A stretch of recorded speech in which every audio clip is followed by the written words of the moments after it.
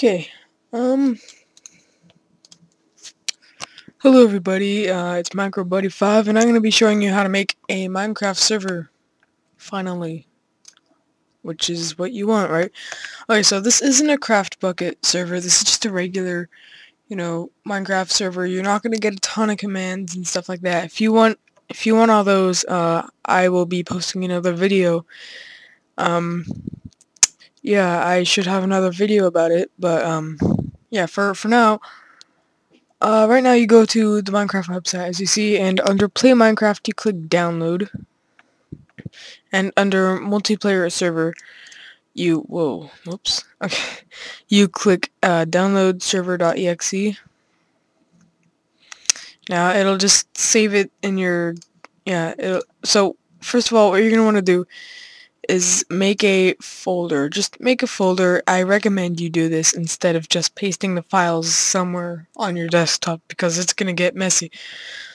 So rename your folder to um, MC server. Sorry, I'm using one hand. Um, okay, so once you've named it that, or actually it doesn't matter what you name it. Um,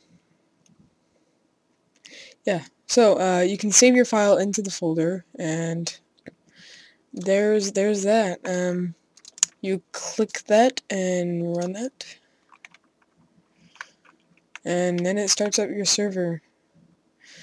But uh, yeah, your default world is named world, so that's what you're gonna stick with if you're starting off fresh.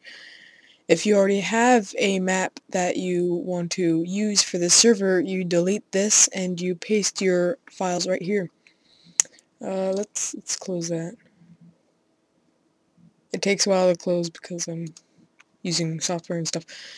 But uh, yeah, once that's closed, uh, okay, so I'm going to show you some of these things. Now, under banned IPs, this is where you this is a notepad file where you enter the IP address of someone who will get banned from your server. Under banned players, uh, same thing, you enter your username and it bans them. Uh, okay, under OPs you want to type in your username and anybody else's who you want to, you know, be a part of your server and be able to control it and access a lot more things. So, uh, this is the properties file. Uh, level name, you want to change it, well don't change it unless you unless you pasted a different world. Uh, this is this is the name that you want your world to be called. So right now we're just using world. Um, if you have a different one, you type it in right here and paste the files here. Um, uh, flat, I'm gonna.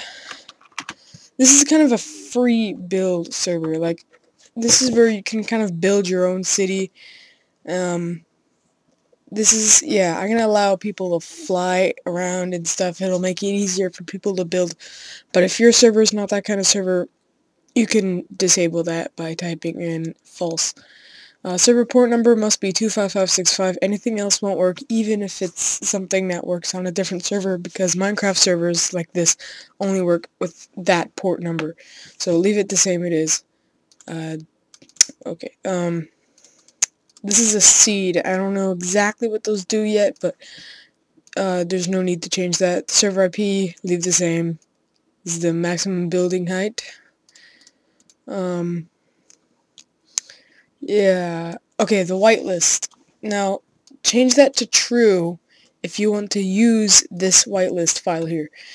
Enter as many usernames as you possibly can if you want to use this. You don't have to do this, but if you enable whitelist, so here's what the whitelist does. You enter, just simply enter usernames, whoops, I spelled that wrong, but you, you enter usernames and all the people who want to join the server. So let's say, like, I don't even know, but just enter all the people that you trust and this is this is good for like YouTube videos like this because my server is not that kind of server where a bunch of people can, you know, join whenever they want. But um mine is kind of one of those, you know, peaceful servers where a couple people come on and they build and you know there's no griefers or anything so that's kind of helpful. So whitelist is actually really helpful for me. Uh, I'm not going to use it for this but change that to true if you want to use the whiteness whitelist. Um, uh, spawn animals you you pretty much should know most of these if you don't then I'm sorry but you can leave them the way they are if you just want the default settings um, now PvP I like to leave that at true even though for my kind of server it's not really that um, important, but yeah, maximum players. I'm gonna change that down to like seven because that's that's that's what my server has. I already have my own uh, CraftBukkit server, but this is just a regular server to get you started. I'll show you how to make a CraftBukkit server in a different video. Uh, spawn monsters, to change that to false, and this is the message that displays under your server. So, uh, you save those if you're happy with them. Uh, then you start your server again. And it is ready to go. Your settings are ready. And you will be starting off as a regular world. You will spawn in a different place. Actually, you'll spawn somewhere randomly unless you paste your pasted your old file. So I'm going to close that if it closes, which it won't maybe? I don't know. Okay, so once you've done that, now you need to do, here comes the tricky part. You're going to have to forward the port, the 25565 number. Now, this is tricky because I'm, I'm not going to do it the same way you will. There's so many different ways to do it. You can't, there's only a certain way that you have to do it. I mean, okay, I, I can't, I can't make this as easy as it is, but, um, it's actually kind of easy to do, but it's hard to explain. So go on this website. It's just simply called portforward.com. I'll put a link in the description.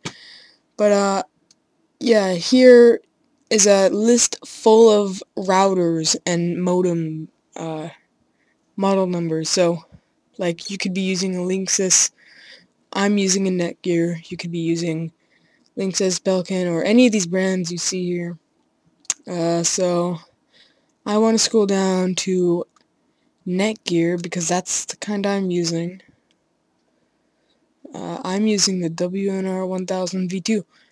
Um, yeah, so uh, you skip the advertisement. Okay. Um, yeah, so now it shows, oh my gosh, let it load. Okay, so here, okay, here's your IP address right here, it shows. Um, that's, this is the IP address you will be using to connect to your server. My server has a whitelist and you won't be able to do it, so there's no point. Um, under here, you're to scroll down to M Okay, so then you click um, Minecraft server, which is right here.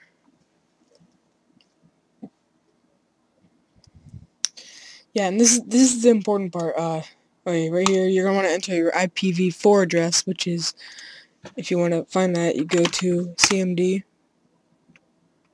and type in ipconfig,